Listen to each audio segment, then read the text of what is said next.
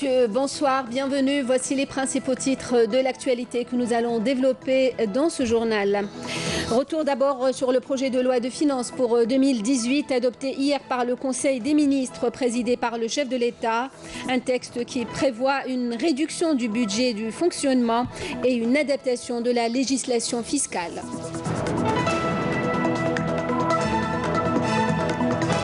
Le projet de loi sur la monnaie et le crédit à l'APN, le premier argentier du pays, justifie le recours du gouvernement au financement non conventionnel en écartant tout recours à l'endettement extérieur. Régularisation de la situation des locataires occupant des logements en pas de porte. La période accordée par l'OPGI expire le 31 décembre prochain. À suivre un reportage dans ce journal. À suivre aussi un reportage sur les gravures rupestres de Marhouma dans la région de Bni Abbas, des gravures témoins d'une histoire plusieurs fois millénaire. Le projet de loi de finances pour l'année 2018 adopté hier par le Conseil des ministres présidé par le chef de l'État Abdelaziz Bouteflika. Ce projet de loi prévoit une réduction du budget de fonctionnement et une hausse exceptionnelle du budget d'équipement. Il prévoit également une adaptation de la législation fiscale. Les pouvoirs publics espèrent un acheminement graduel vers l'équilibre des finances publiques dès l'année prochaine. Le Conseil des ministres a entamé ses travaux par l'examen et l'adoption du projet de loi de finances pour l'année 2018. Un projet qui, dans sa partie budgétaire, affiche plus de 6 500 milliards de dinars en recettes et près de 8 628 milliards de dinars en dépenses. Le déficit global du Trésor s'élèvera ainsi à près de 9% du produit intérieur brut. De plus, ce déficit budgétaire doit être appréhendé dans le cadre d'une double réalité. En premier lieu, il s'agit de la volonté des pouvoirs publics d'entamer dès cette année le retour à l'équilibre budgétaire dans moins de 5 ans, volonté qui se reflète notamment au niveau du budget de fonctionnement qui s'élèvera à plus de 4 500 milliards de dinars en baisse de 7 milliards de dinars par rapport à l'exercice en cours. En second lieu, il s'agit de la nécessité pour l'État de procéder au règlement des dettes qu'il a accumulées envers les entreprises contractantes pour des réalisations ou des fournitures de biens et de services.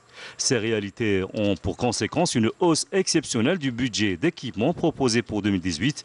À ce propos, le chef de l'État a relevé que cette situation dictée par des circonstances objectives devra être une exception et que l'acheminement graduel vers l'équilibre des finances publiques devra être reflété dès l'année prochaine à travers une baisse du budget de l'État qui sera inscrit dans le projet de loi de finances pour 2019. Dans sa partie législative, le projet de loi de finances pour 2018 introduit plusieurs mesures nouvelles de modernisation de la législation fiscale, parmi lesquelles l'instauration d'un impôt sur la fortune et la bonification intégrale par l'État des crédits bancaires levés par l'ADL pour financer la réalisation de 120 000 logements de location-vente. À ce sujet, le président Abdelaziz Bouteflika a insisté sur le dynamisme dont devra faire preuve le gouvernement pour traduire son plan d'action en résultats concrets continus pour accroître la croissance, la création d'emplois et la diversification de l'économie nationale. Par ailleurs, le Conseil des ministres a poursuivi ses travaux par l'examen et l'adoption du projet de loi portant règlement budgétaire pour l'exercice 2015 avant d'examiner et d'adopter un projet de loi relatif au commerce électronique, un texte qui vise à donner une assise légale à cette activité et à développer l'économie numérique dans le pays en offrant une protection aux consommateurs. Poursuivant ces travaux, le Conseil des ministres a examiné et approuvé un décret présidentiel autorisant la participation de l'Algérie à la reconstitution de ressources de l'Agence internationale pour le développement ainsi que trois décrets présidentiels autorisant conformément à la loi la signature de contrats d'exploration et d'exploitation des hydrocarbures entre Sonatrach et deux entreprises, en l'occurrence Eni Algérie et l'agence Annaft, qui permettra un investissement supplémentaire de 400 millions de dollars pour une production additionnelle de 78 millions de barils de pétrole. Enfin, le Conseil des ministres a conclu ses travaux par l'examen et l'adoption de décisions individuelles de nomination ou de fin de fonction à des fonctions supérieures de l'État. Au nom du président de la République, Abdelaziz Bouteflika, le président du Conseil de la Nation, Abdelkader Ben Salah, s'est déplacé aujourd'hui au siège de l'ambassade d'Irak à Alger, où il a signé le registre des condoléances ouvert suite au décès de l'ancien président irakien Jalel Talabani.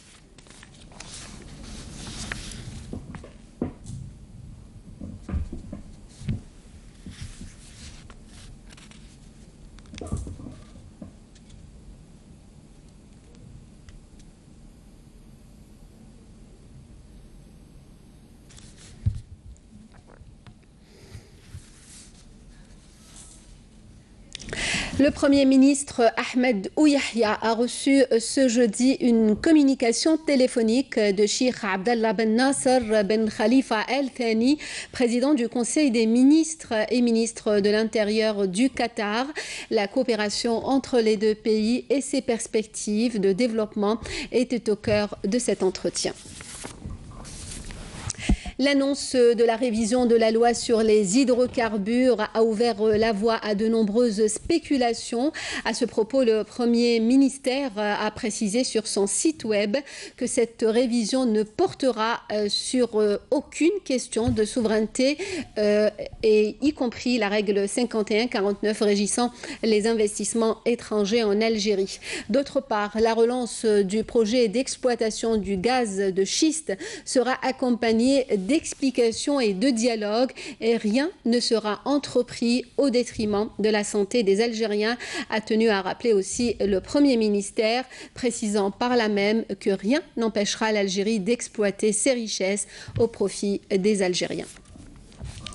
Le Conseil de la Nation reprendra ses travaux mardi prochain en séance plénière consacrée à la présentation et au débat du projet euh, de loi sur la monnaie et le crédit. Le président du Conseil de la Nation, Abdelkader Ben Salah, a présidé, a présidé une réunion de l'instance de coordination. La réunion a également été consacrée à la présentation et à l'examen du bilan des activités du Conseil de la Nation entre le 1er janvier et le 30 septembre 2017, ainsi qu'à à la présentation du plan d'action de l'institution parlementaire pour le dernier trimestre de 2017 et de son programme d'action euh, pour 2018. À l'Assemblée populaire euh, nationale, euh, les travaux ont repris euh, ce jeudi par la présentation et le débat autour du projet de loi sur la monnaie et le crédit. Le ministre des Finances, Abdelrahman Raouya, a justifié le recours du gouvernement au financement non conventionnel en écartant tout recours à l'endettement extérieur en raison de ses lourdes répercussions sur le plan économique et social. Une situation financière vulnérable marquée par le déséquilibre entre les dépenses budgétaires et l'épargne publique, avec un puisement total des réserves du Fonds de régulation des recettes en février 2017. Et ce, après avoir couvert le déficit du Trésor public, s'élevant à plus de 8 milliards de dinars durant les exercices 2014, 2015 et 2016. C'est ce qu'a annoncé le ministre des Finances Abdelrahman Raouia lors de sa présentation du projet de loi complétant l'ordonnance 0311 relative à la monnaie et au crédit. Effectivement, le gouvernement fait face à des restrictions budgétaires depuis le deuxième semestre de l'année 2014. Ces restrictions exercent aujourd'hui de lourdes pressions sur la trésorerie publique. Cela est dû d'un côté à la contraction de nos ressources financières et d'un autre côté au puisement total des réserves budgétaires du fait de la détérioration des prix du pétrole. Abdelrahman Alaouia a rappelé que les exportations algériennes des hydrocarbures sont passées de 60,3 milliards de dollars en 2014 à 18,7 milliards de dollars au cours des sept premiers mois de l'année 2017. Ajoutant que le prix du baril qui permettait d'équilibrer le budget de l'année en cours est de 70 dollars au moment où le prix du brut est inférieur à 60 dollars. La fiscalité pétrolière recouvrée jusqu'à juin 2017 était de 1100 milliards de dinars, soit 60% de celles recouvrées à la même période en 2014, alors que les réserves de change du pays devraient descendre en passant de 105 milliards de dollars à fin juin en 2017 à 97 milliards de dollars à la fin de l'année en cours. Le ministre a donc justifié le recours du gouvernement au financement non conventionnel en écartant tout recours à l'endettement extérieur en raison de ses lourdes répercussions sur le plan économique et social. Mais le recours au prêt direct de la Banque centrale autorisé pour une période transitoire de cinq années selon le projet de loi sera accompagné de réformes structurelles importantes portant sur le cadre institutionnel et fiscal avec la rationalisation des dépenses. Les avances de la Banque d'Algérie au Trésor public, plafonnées jusque-là à 10% des ressources ordinaires, ont été de 276 milliards de dinars en 2016 et de 280 milliards de dinars en 2017. Le ministre a avancé que le programme de réforme structurelle économique et budgétaire qui va accompagner la mise en œuvre du financement non conventionnel conduira au rétablissement des équilibres du budget de l'État et de la balance des paiements au terme des cinq années prévues par le projet de loi. Les séances plénières consacrées au débat général vont se poursuivre demain et samedi. Le vote sur ce texte est prévu pour dimanche 8 octobre à la PN. En prévision, euh, en prévision des élections euh, locales le 23 novembre prochain, le président de la haute instance indépendante de surveillance des élections, Abdelwahab Derbel, a présidé hier à Annaba une première réunion euh, régionale en présence d'universitaires et de juristes. Naïma Shekshek. Durant cette conférence régionale pour le contrôle judiciaire des prochaines élections locales, Abdelwahab Derbel, président de l'instance indépendante pour la surveillance des élections, a expliqué le rôle, le travail et le fonctionnement de l'instance en question, en précisant que la réussite et la transparence des élections n'est guère une question de slogan, mais plutôt une question liée à des garanties constitutionnelles. Il a ainsi invité toutes les parties actives à participer au sursaut requis pour l'intérêt du pays.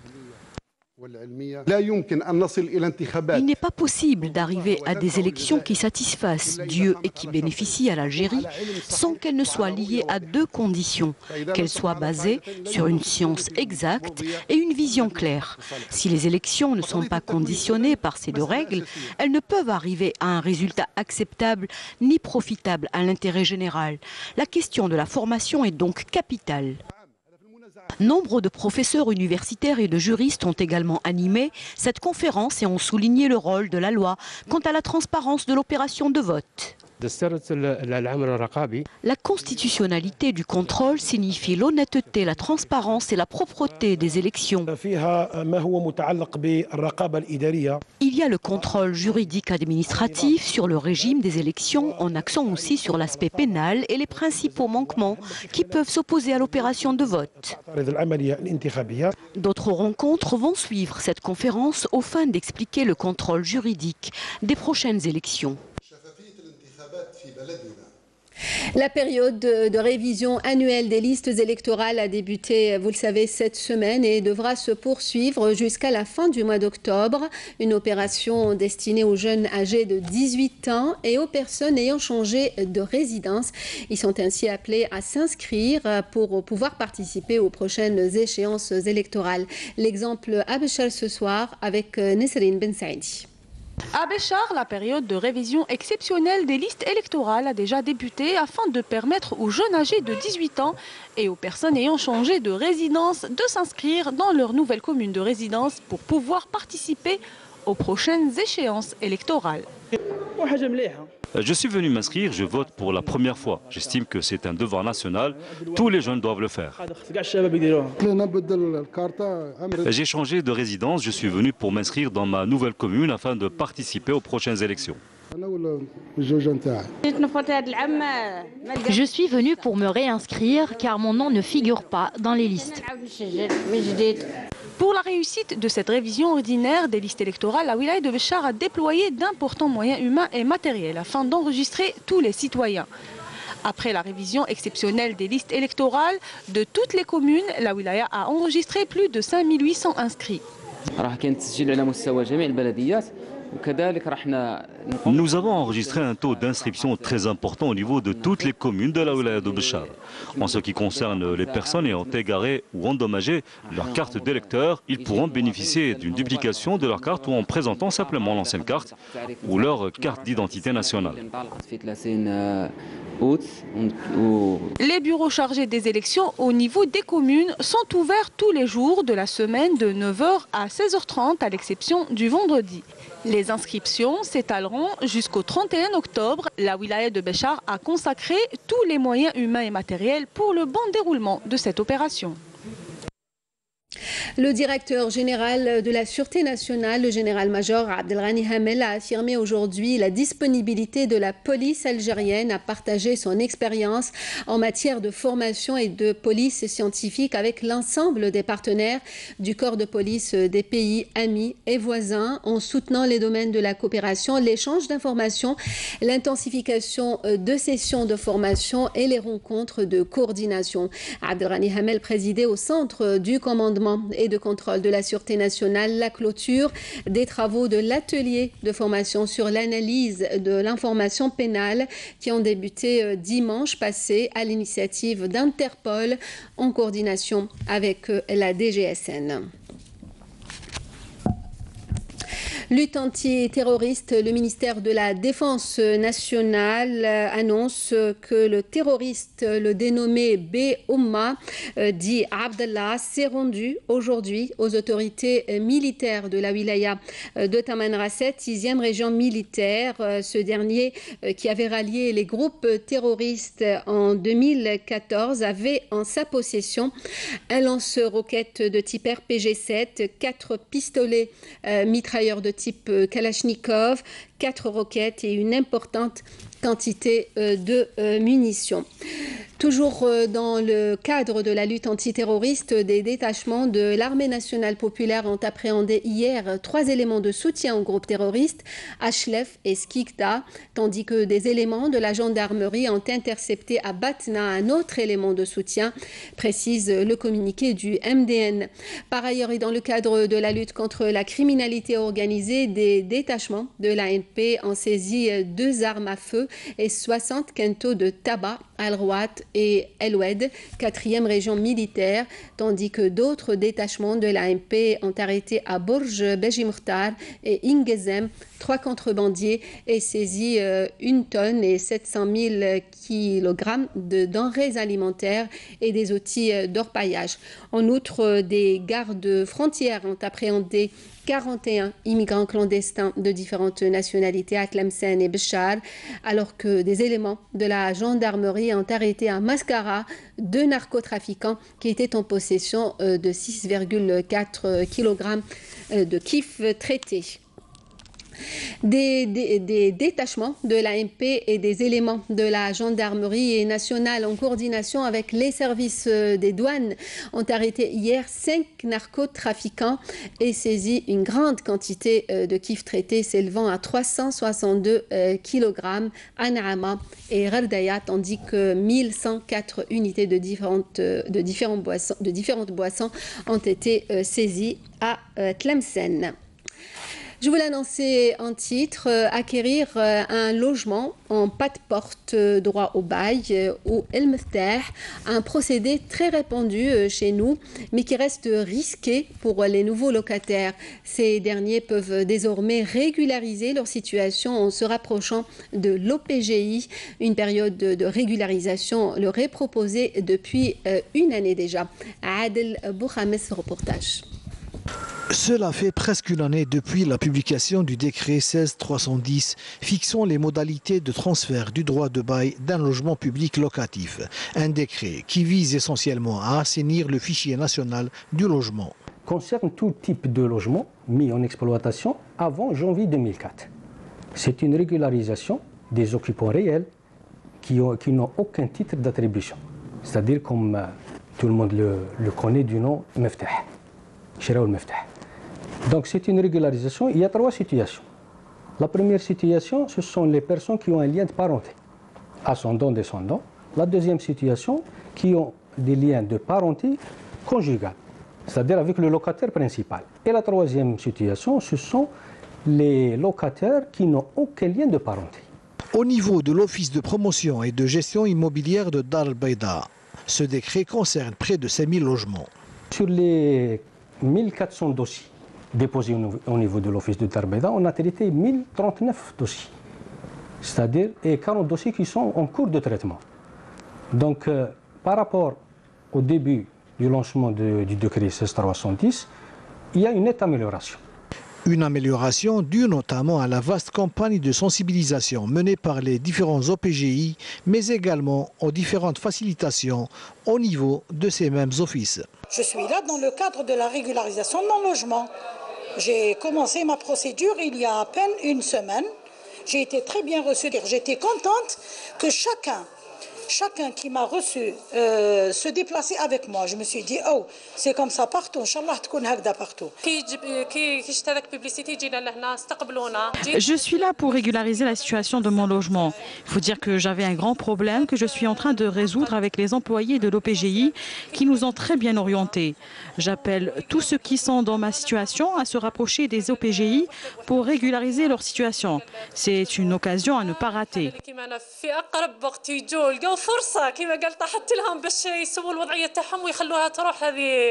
J'aimerais bien lancer un appel aux locataires qui occupent les logements illégalement euh, de se rapprocher auprès des agences et tout euh, l'accueil sera réservé, leur sera réservé et toutes les facilitations euh, seront à leur disposition.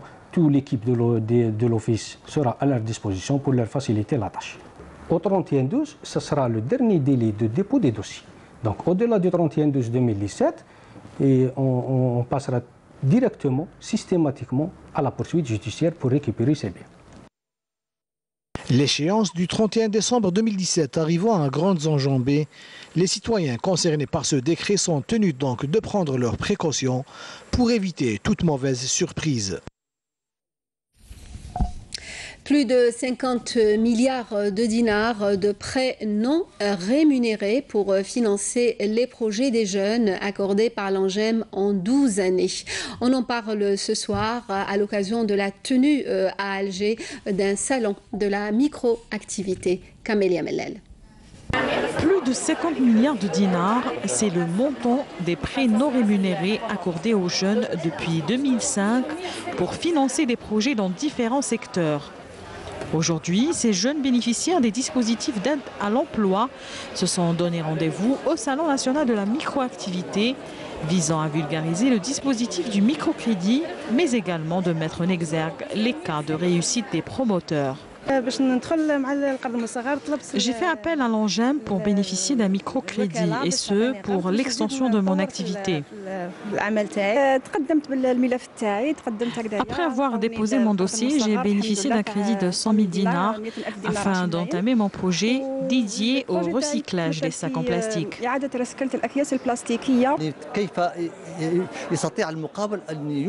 Comment créer sa propre micro-entreprise? C'est un programme tracé par les pouvoirs publics et appliqué par le Centre national de formation et d'enseignement à distance.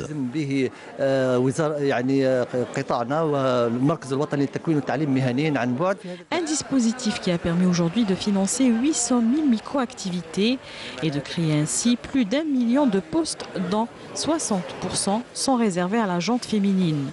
Mieux encore, des modifications supplémentaires seront introduites à l'avenir dans le cadre du dispositif du microcrédit afin d'accorder des facilitations aux jeunes porteurs de projets. Sahara occidental, le représentant du Front Polisario euh, à l'ONU, euh, Ahmed Boukhari, reçu hier par le secrétaire général euh, de l'ONU, Antonio Guterres. Ahmed Boukhari lui a remis un message du président sahraoui, Ibrahim Ghali. Cette rencontre intervient à la veille de la visite prévue prochainement de l'envoyé spécial de l'ONU, Horst Kohler, dans la région.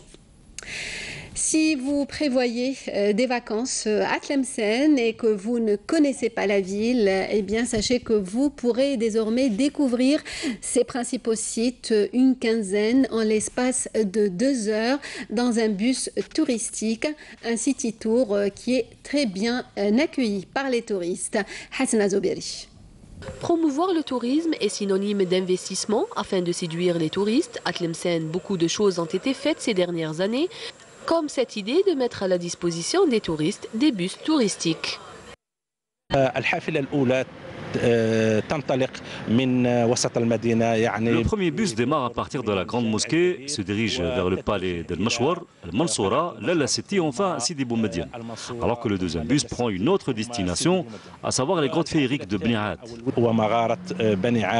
En deux heures de temps, les touristes pourront ainsi découvrir tous les monuments et endroits touristiques à Tlemcen à bord d'un bus écologique. Vu qu'il est alimenté par l'énergie solaire, les touristes pourront aussi déguster le bon thé local à bord de ce bus.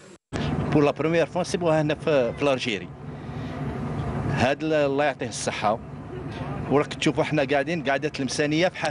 Lors de cette visite, le touriste pourra découvrir 15 endroits touristiques, à commencer par le palais d'El Mouchouar. L'Algérie est un très beau pays. C'est la première fois que je viens en Algérie et spécialement à Tlemcen qui a une grande histoire. On a payé le billet de 300 dinars algériens euh, pendant deux heures, on a fait une petite promenade dans cette petite ville sur laquelle on a pu découvrir euh, le patrimoine, le riche patrimoine de cette ville. Dernière halte de cette balade à Tlemcen et le mont de l'El-Leseti. Nous avons laissé les touristes prendre des photos souvenirs avant de revenir à leur ville respective.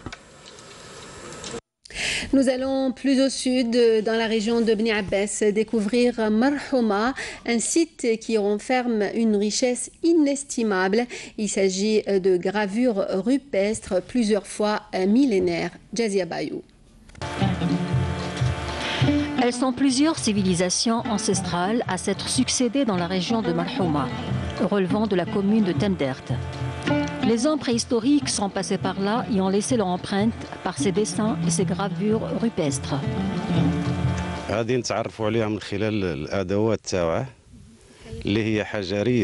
L'homme préhistorique qui est passé par là à l'âge de pierre et jusqu'à la période du néolithique a été reconnu pour ses dessins et ses gravures sur la pierre. Jadis, le climat de la savane y régnait. L'on retrouve également les signes de la civilisation capsienne qui date de 4000 ans avant Jésus-Christ. Les dessins et les gravures rupestres qu'ont laissé les premiers hommes montrent un aspect de leur vie quotidienne, les animaux qu'ils chassaient et les outils qu'ils utilisaient.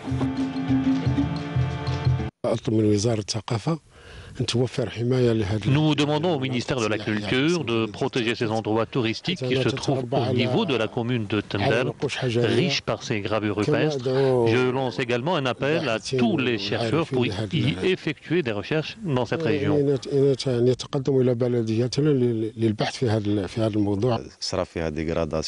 Hélas, ces endroits historiques ont connu une grande dégradation à cause du manque de civisme de la part de certains touristes qui ignorent la valeur historique de espace. Certains d'entre eux ont été jusqu'à écrire sur ces dessins préhistoriques. Marhouma, plus qu'un espace touristique, c'est un site historique classé patrimoine national et un musée à ciel ouvert qui exige une plus grande préservation.